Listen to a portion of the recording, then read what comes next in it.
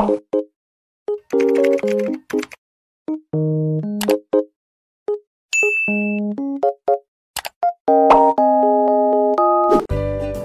everyone! Miss Janine here, your grade 7 science teacher. For our today's science tutorial, we will discuss how to focus specimens using compound microscope. Are you ready to learn with me? Let's start! Let us first define what a compound microscope is. It is a high-power microscope that uses a compound lens system. A compound microscope has multiple lenses the objective lenses, and eyepiece lens. We have steps in focusing specimens using compound microscope. Make sure to follow these steps to avoid damages and to prevent accidents. First step, put a slide on the stage.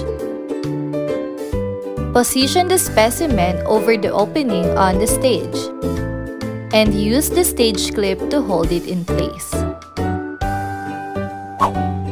Second, check the stage from the side. Slowly turn the coarse adjustment knob to lower the body tube until the low power objective almost touches the slide.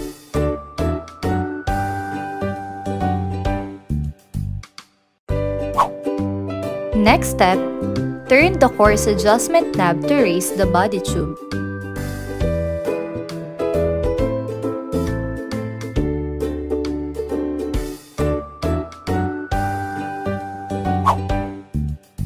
Now look into the eyepiece.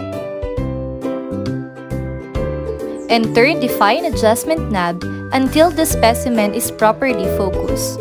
Turn the fine adjustment knob away from you to lower the body tube.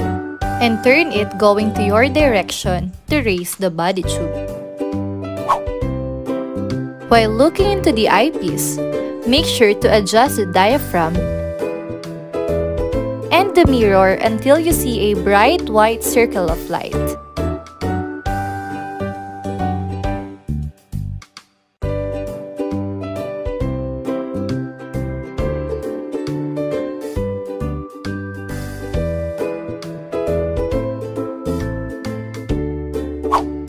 If you want a higher magnification, shift to high power objective lens.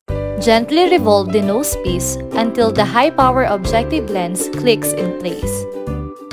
Again, use the coarse adjustment knob to lower the body tube. Be sure that the lens will not hit the slide.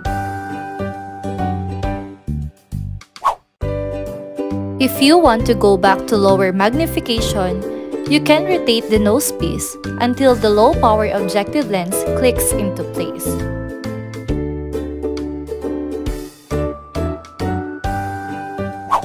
Let us just repeat the steps and look into the eyepiece.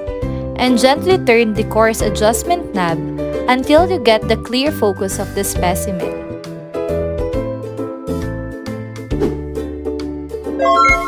That's it! Let's have a quick recap. In this video, we've discussed a compound microscope and ways on how to focus a specimen under compound microscope. That's the end of our science tutorial. I hope that you've learned a lot and see you soon. Thank you for watching!